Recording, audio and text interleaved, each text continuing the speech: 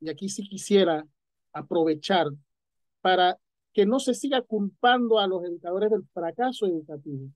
Porque si nosotros no invertimos realmente lo que por ley está, jamás nosotros vamos a gozar de una calidad de educación que todos los panameños aspiramos.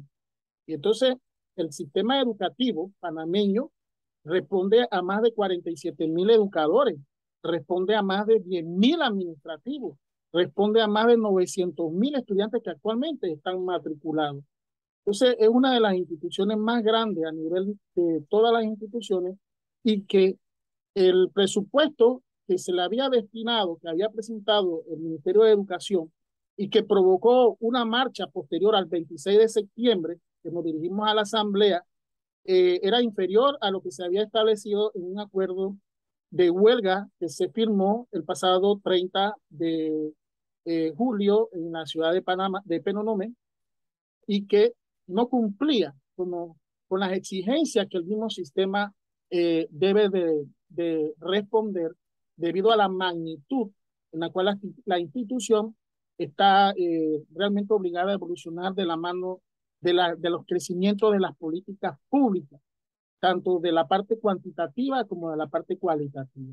Entonces, eh, fue producto de esa lucha, pues, de que se le exija al gobierno, pero lo que nosotros eh, sí queremos hacer un llamado a los diputados, porque lo que nosotros queremos es que se reglamente este artículo, el 266, no que se modifique.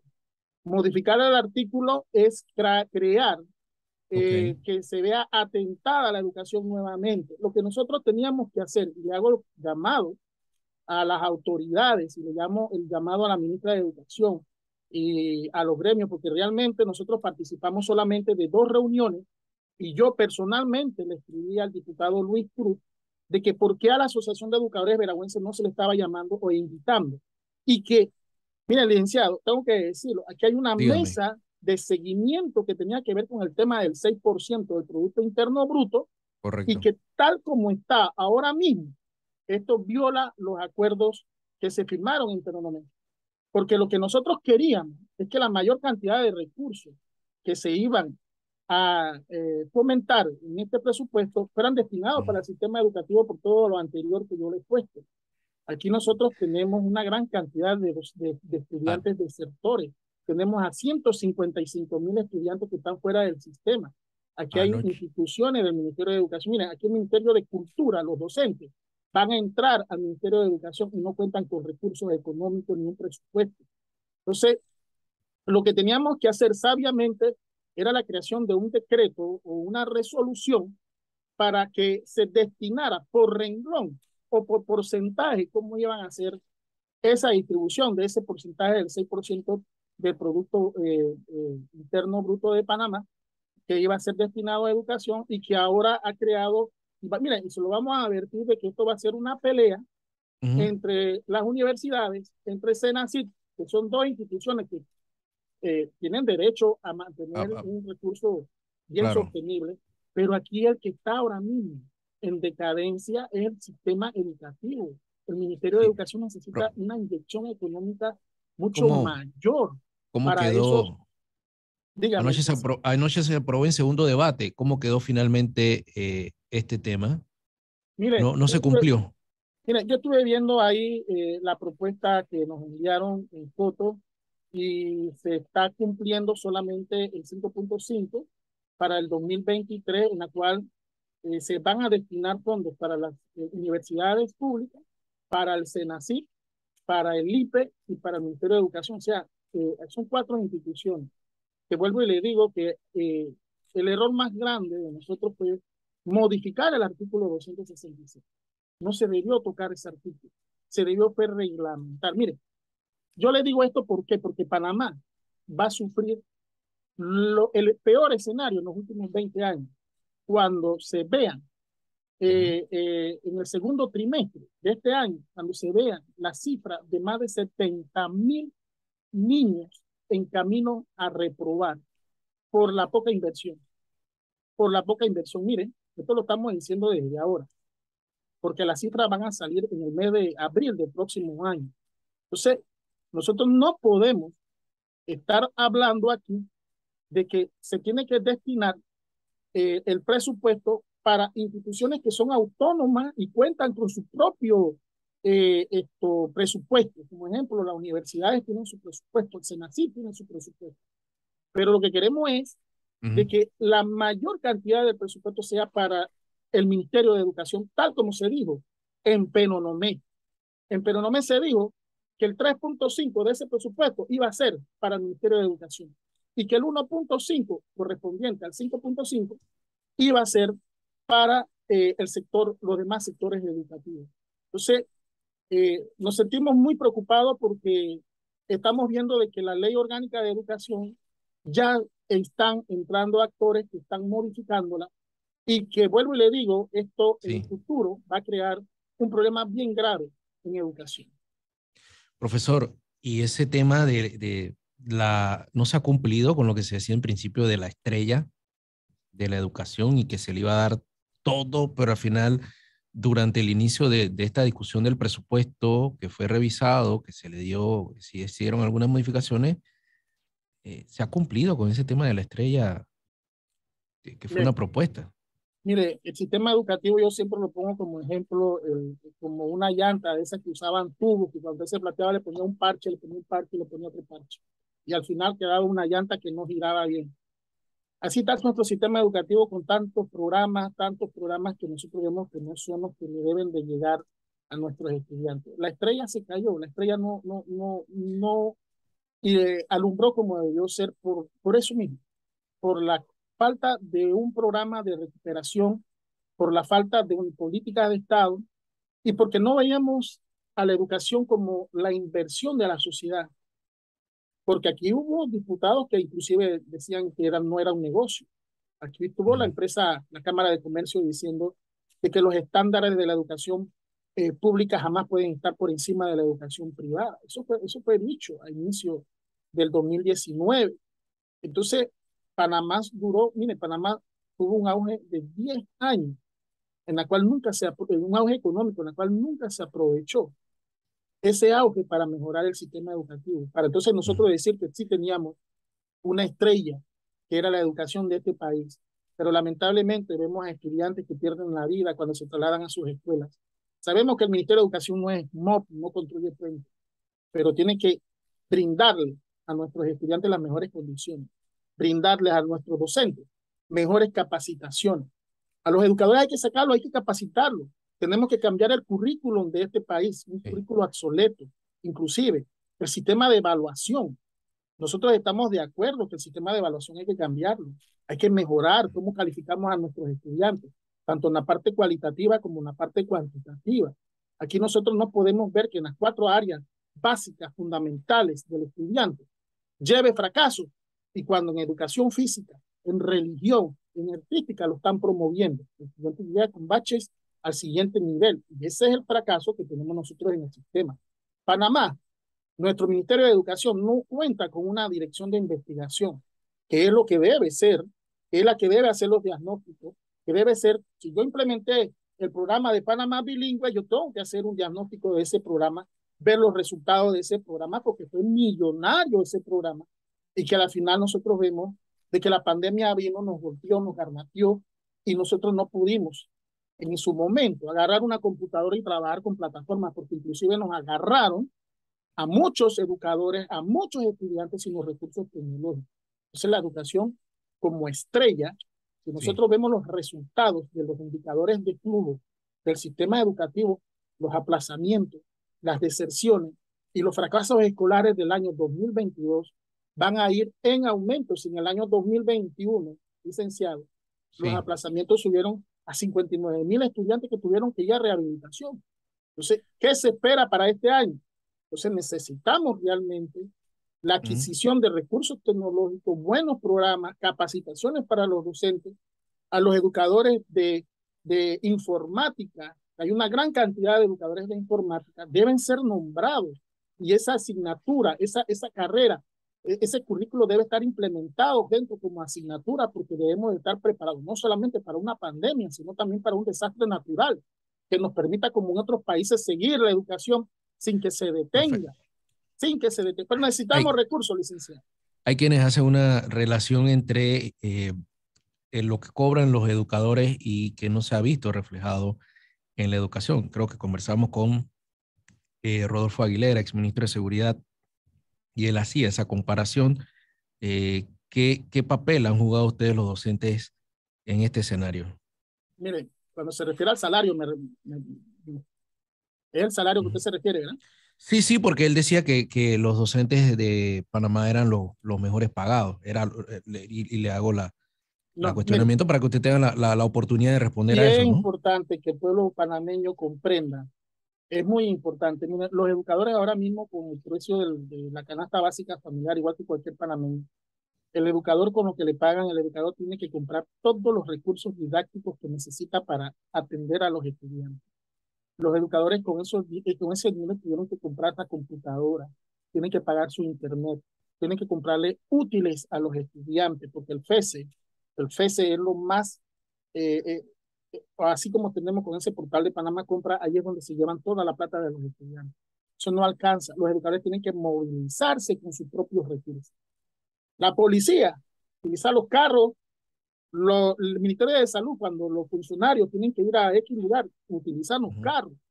Los educadores tienen que moverse con sus propios recursos, que es lo que nosotros hemos dicho, de que hay una gran cantidad de educadores que realmente trabajan en áreas de difícil acceso y están pasando el mil y uno. Un educador cuando llega a una área de difícil acceso, le están cobrando, inclusive por un cuartito, más de 130 dólares. Vamos a Darien, yo estuve en Darien el año pasado y yo veía dónde dormían esos educadores. Así que no puedo cuestionar a mis compañeros y donde sea yo tengo que defender a mis compañeros, porque a veces sentimos que existen calificativos con la intención de desmejorar la profesión del docente, pero se les olvida que el docente ha sido un papel muy importante, inclusive en las luchas y en las conquistas del pueblo panameño. Valga eso en el mes de julio, que quien liderizó la huelga nacional histórica de más de 45 años fueron los educadores.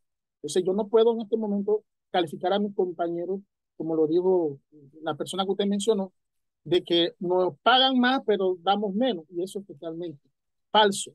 Necesitamos una dirección de perfeccionamiento del, del docente, que lo saquen del aula, lo lleven a una capacitación intensiva, donde el docente se especialice en área, se especialice en evaluación, se especialice en técnicas de, de enseñanza.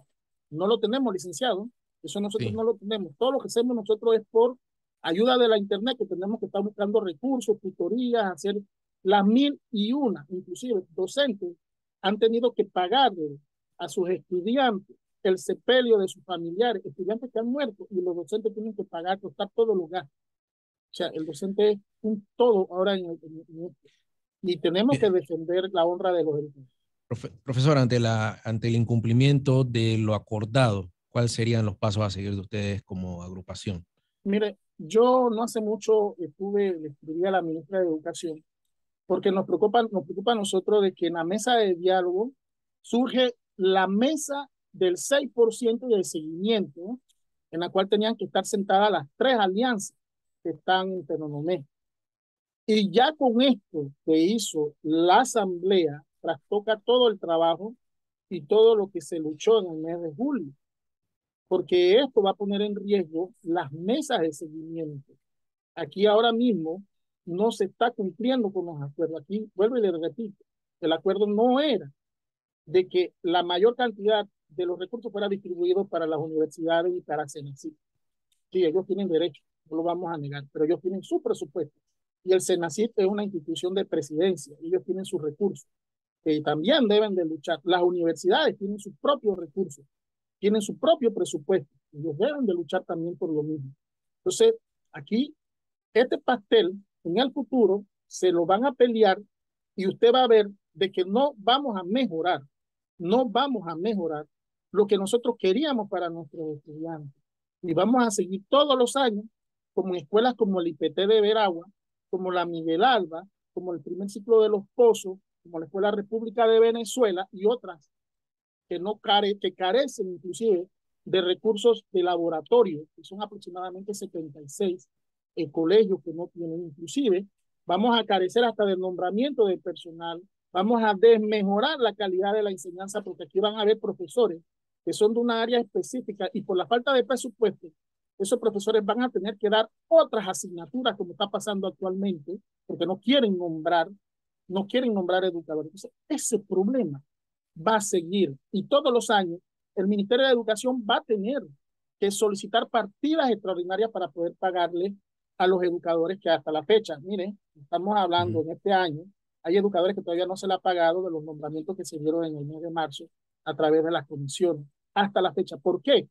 Por la falta de presupuesto. Y ahora con esto, que queda lo mismo, atentan contra la, la misma ley orgánica de educación y no hay ni una reglamentación que diga cómo van a ser distribuidos por porcentaje. No lo dice por ningún lado. Y esto nos va a traer a nosotros muchos problemas para el próximo año.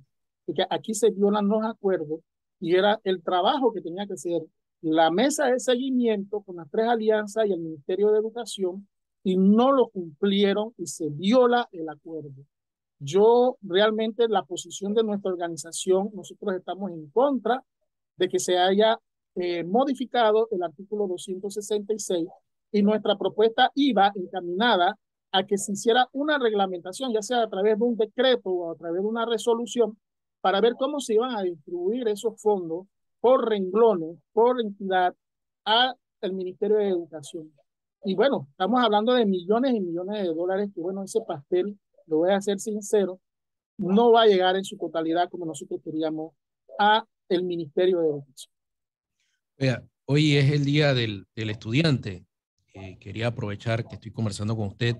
¿Cómo ven ustedes ese, lo que está ocurriendo en cuanto al tema de los auxilios económicos, en cuanto a ese desequilibrio que no solo se muestra en, en, en el desbalance en el presupuesto que puede tener el MEDUCA en cuanto a educación, sino en instituciones relacionadas con la educación como el IFARO?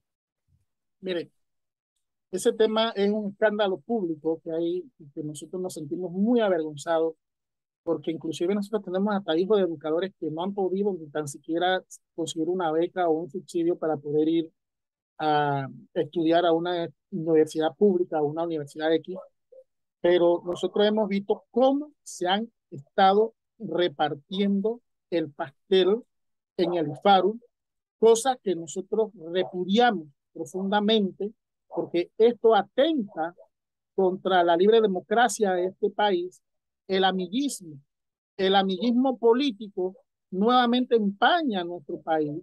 La corrupción siempre va a imperar en nuestro país cuando nosotros tenemos políticas como esta, que cuando aquí un estudiante, mira, aquí hay estudiantes, yo he visto en la chorrera cuando venía de Panamá ayer, veía en la chorrera como estudiantes con una latita solicitaban para poder ellos salir a, a un país a representar a, a, Panamá y no tienen dinero porque no lo pueden conseguir. Aquí hay estudiantes que quieren salir al extranjero a representar al país y no pueden, pero sí hay amiguismo que salen de aquí porque forman parte del Partido Revolucionario o porque usan corbata o porque están sentados en asamblea y sí, sí, sí reciben estos subsidios que es una garnatada para el pueblo panameño. Y esas cosas, licenciados, esas cosas son las que motivan al pueblo panameño a salir a las calles, a defender y a luchar para que se acabe esta corrupción. Cosa que nosotros queremos, porque aquí eh, eh, transparencia, eh, la ANTAI jamás va a cumplir el rol que le corresponde y la Contraloría mucho menos, porque la Contraloría es la que se presta para estas cosas.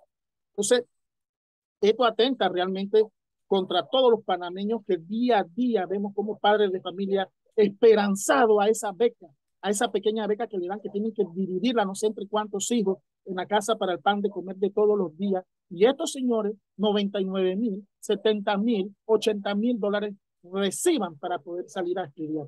Eso realmente me da mucha tristeza cómo vivimos en este país y esperemos que las autoridades hagan algo. Yo, el presidente de la República, de una vez mando una investigación y saco a ese señor, al director del IFARU, inclusive le abro un proceso porque él se está pasando de, de, de, lo que le compete a él como director. Lo que debe de irse es a las comunidades apartadas y vean cómo están esos estudiantes sin zapatos que todos los días van a las escuelas porque la escuela es la que les brinda poco, por lo menos algo este año, la comida. Pero ese es el trabajo que tiene que hacer el director del IFARU, no estar regalándole a sus amigos becas o subsidios cuando están discriminando a la mayor cantidad de los panameños que la necesitan.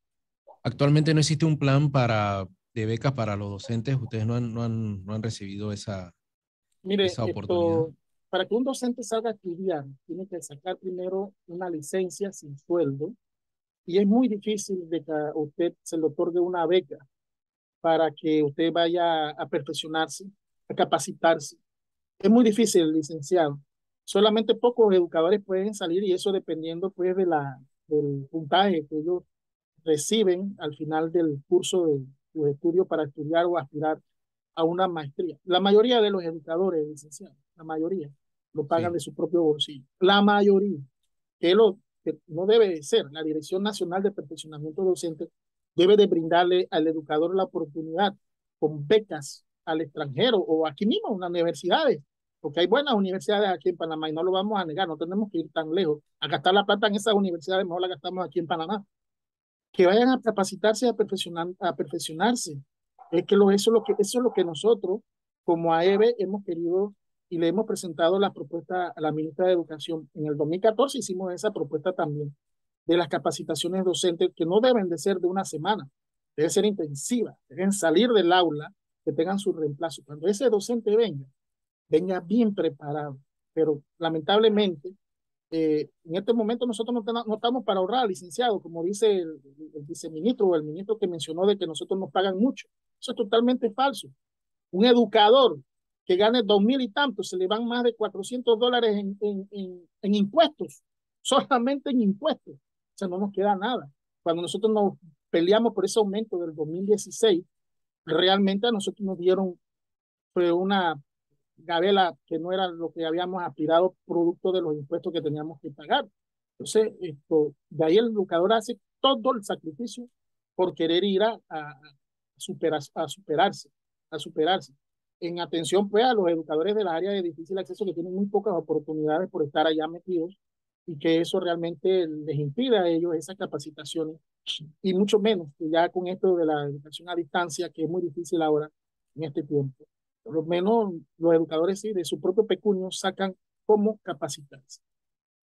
Eh, muchas gracias al profesor Luis Sánchez por compartir con nosotros esta información y este análisis de la situación de la educación eh, panameña. Que tengan buenas tardes. Gracias. buenos días, perdón.